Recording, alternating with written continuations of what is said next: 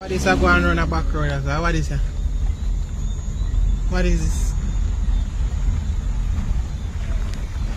The blood. What is that?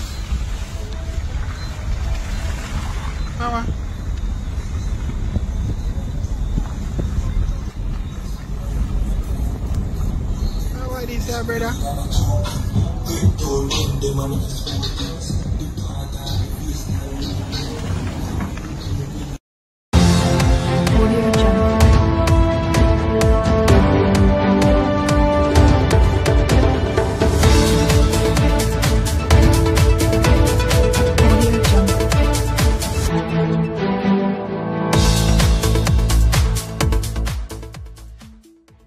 Guys, honestly, when him there, Nikki, Nikki, me love this, me not lie.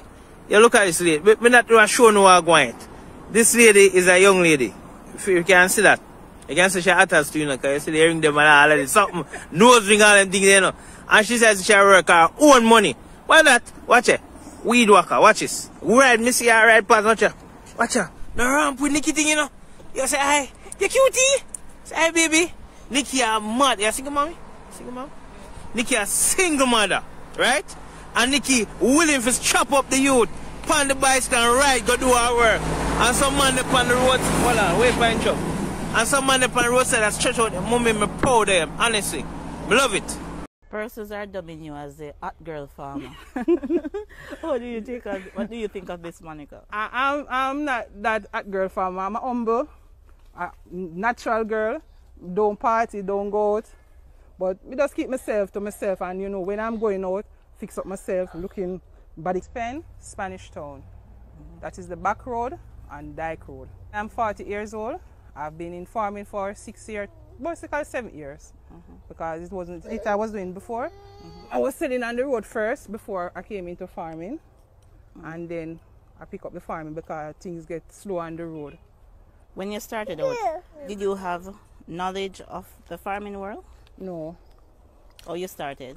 Basically I didn't do any work before. I just do here, go around and do any other little work. Any little work me get me, me do. Truck work, yard work, seeing we even washing.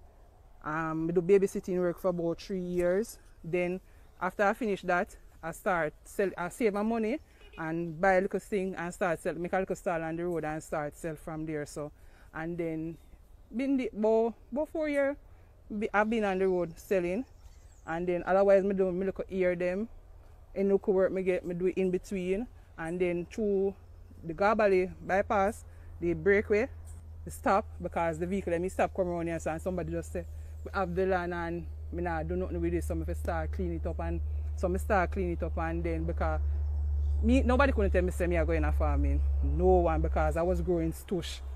And basically I hear me the one to do basically go foreign or I have the intention to go foreign go do some work and help my mother and then me start the farm and from me start the farm I never turn back but any, any other little work me get me take and me do it How profitable has this business been for you? And how challenging is it for very you? very challenging because you know a callaloo basically we start out with because around here is a callaloo place so otherwise from look okra your sorrel or look catch crop otherwise I put in is basically um Kalalo.